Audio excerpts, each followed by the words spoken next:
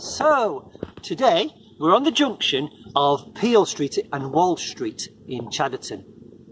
Um, here, I'm, where I'm standing is where there was a bridge going over the, the, the road and it was the railway line. Here there was a railway line and this went from uh, all the way from Middleton all the way up to Oldham and it provided a link to um, the central Oldham station that, that used to be there.